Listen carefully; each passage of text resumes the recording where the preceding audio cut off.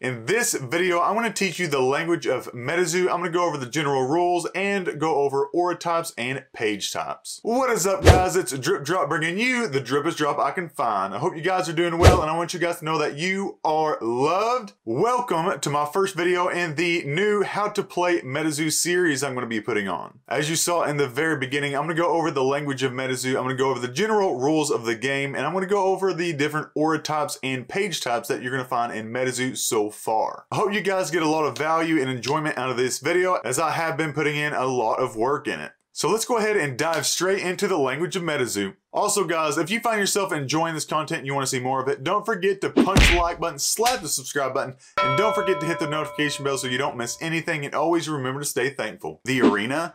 So the arena is pretty much the area in which you play the cards. So whether it be an aura, an artifact, a spell, or a beastie, Basically, the area in which you play is going to be called the arena. Then you have the aura. The aura is what gives you the ability to play other cards. It's going to be the resources to play the cost of the cards that you are using. Next up, we have the battleground. So you know we have how we had the arena in which you played the cards. The battleground is going to be the entirety of the playmat that we have. So you have the arena here and then you have some side decks. Your deck, we'll go over the lingo for that. Then we have our afterlife, our limbo, and our cemetery. All of that combined is going to be the battleground, what we call the battleground of the game. Which brings us to who's battling? Who's battling in this game? Well, that's going to be the caster. You, me, we're going to be the casters. Alright, so in MetaZoo, instead of player or trainer like in Pokemon, we are now known as the casters. And then from there, kind of my favorite lingo of this is going to be uh, what you call your deck, what you call your hand, and what you call either drawing or your just individual cards. So I'm gonna go with it in steps from biggest to smallest, okay? So your deck is gonna be called your spell book. From your spell book, you are going to bookmark a page, which is gonna go into your chapter okay? So each individual card is going to be known as a page and your hand is going to be known as your chapter. I think that's pretty cool. It's a, it's unique for sure. Depending on which card you play, there's going to be a few key words that you're going to pay attention to. With your pages, instead of just saying I'm playing this, what it's known is as contracting. So if you have the available aura or resources, then you'll be able to contract a page depending on what the card says, and we'll go over that here in a little bit, you'll be able to do a certain amount of things, or it might just be a straight contract. Different things may happen whenever you contract a page. So if it says contract and there's some writing to the right of that, go ahead and follow what that contract text says. For one, whenever you contract a page, most of the time, unless if they have a certain trait, which we'll go over later in this video, it will come out fatigued. So fatigued means that you put the card out in a 90 degree angle or laying horizontally. And then from there you have awakened, which you'll have the card right side up, which will be vertically. And then from there we have similar things like flipped, arena, and destroyed.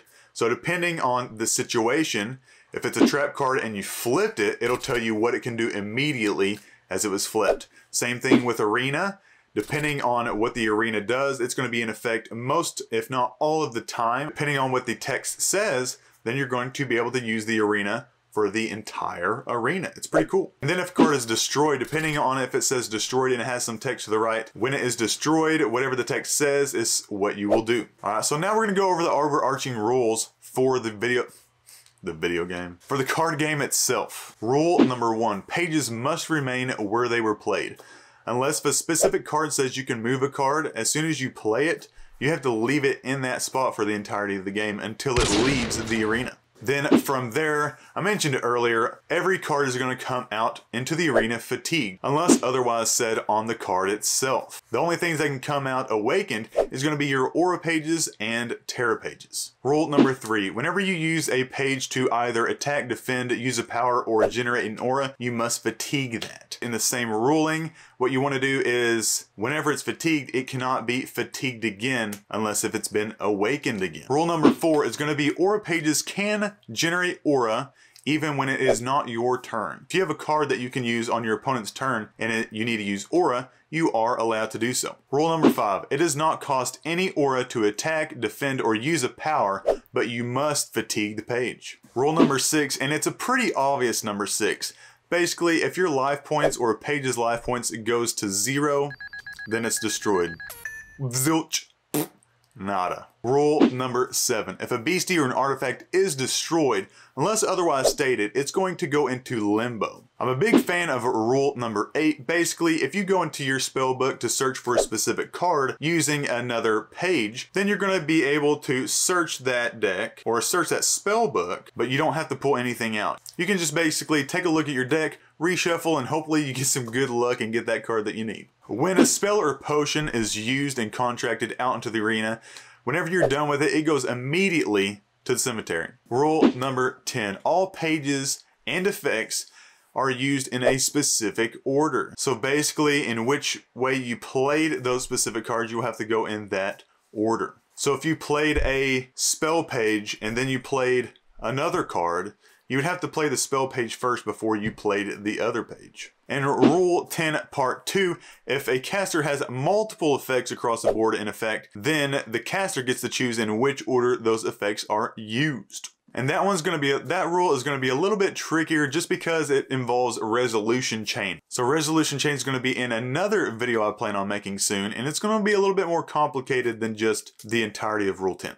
On rule number 11, you are allowed to use a Terra page at zero aura cost, and all of the Terra pages can be used for any of the Terra bonuses that any of the cards may get. Rule number 12, any damage that is dealt to the casters or pages should remain in between turns. Rule number 13, if any of the aura that was generated previously it was unused, it is going to disappear as soon as the turn is ending. And on rule number 14, if a caster has zero pages in hand, basically you guys continue playing until that caster is incapable of playing or life points go to zero.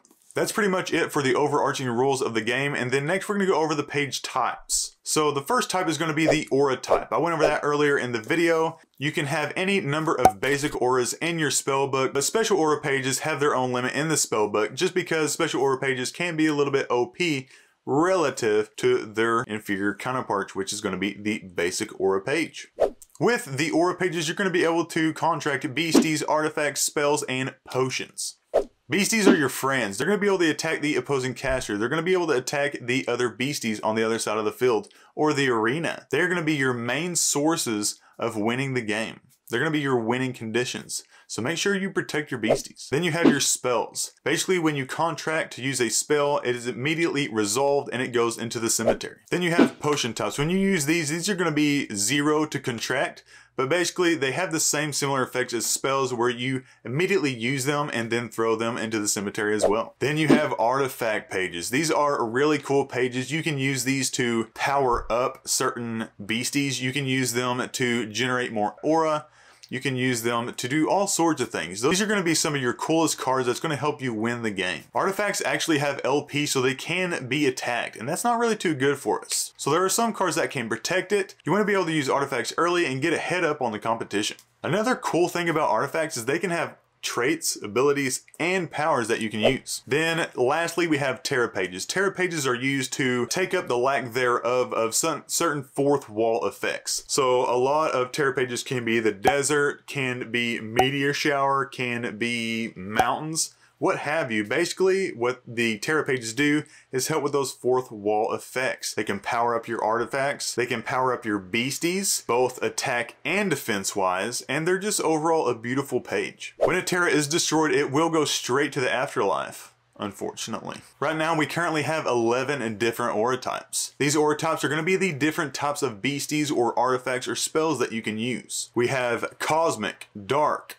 Earth, Flame, Forest, frost, light, lightning, neutral, spirit, and water. With these elements combined, each aura type is pretty unique. Each of them have their ups and downs and different play styles. First off, we have the cosmic aura type. Cosmic aura type benefits from having no weakness. It also relies heavily on using effects for strategy. It uses a travel top style as pages become stronger when paired with more pages. Also, Cosmic is pretty cool because it involves aliens, and aliens are pretty cool. Then you have Dark type. It's aggressive and powerful and grows stronger still when utilizing the Knot. This deck has the ability to take other pages out quickly and resurrect other pages from limbo. This deck can take control if not taken care of quickly. Then we head on to the Earth type. It's going to be a pretty tanky deck. It relies heavily on being strong and beefy, but the cost of being weak in attack power. Use Earth type if you like to take a beating while beating up your opponent. Then we have the Flame type. It's going to be extremely quick and aggressive. It damages both you, the caster, and the opposing caster. The aura costs are relatively low, but it has a high damage output. The Flame type wants to win quickly. Then we have Forest. The Forest relies heavily on beasties. These beasties can be used as trap cards, they can be used as poison control, and it controls the game's tempo. It also likes to rely on high numbers of beasties present. Then we have the Frost deck. The Frost deck is going to be a little bit different. The Frost deck, or the Frost type, loves to take control of the tempo of the game by freezing their opponent and eluding their enemy. So basically, it gives you time to formulate a master plan to be able to take out your opponent. Next up, we have the Light deck. The Light deck, personally, is my favorite way to go. Light has the ability to heal HP and works well with all of the synergy it has with all of its artifacts and beasties. Personally, there have been multiple scenarios where I've been able to swing the game in my favor with its strong spells, artifacts, and combos with the beasties. Next up, we have a Lightning type. This type is quick and fast, much like Lightning itself. With this in mind, the Lightning takes advantage of traits such as Fleet and First Strike. On top of that, if you can get aura generating pages out early, you're probably going to be in a good spot and going to have a great setup for the remainder of the game. Then you have your neutral pages. I think they're pretty cool because they're usually the cards you'll be using to fill the gaps in your deck or your spell book. Uh, the neutral cards can be played with any aura type, and they are also the backbone to many spellbooks. Then we have the spirit types. Spirit types can be hard to handle with all the traits they possess, aiding them by eluding opponents' attacks. Spirit types have the potential to be strong on their own. Then lastly, we have water, one of the most versatile types that contain powerful spells and beasties. Together they pair perfectly in being able to always have a way to stay in the game. With water, you really can't go wrong. It's a really strong type right now, and I'd probably take advantage of it. Remember guys, this is part one of the How to Play MetaZoo series. I hope you guys enjoyed this video thus far, and I hope you guys look forward to the videos that will be coming up in the future. So remember to stay tuned for the rest of the series.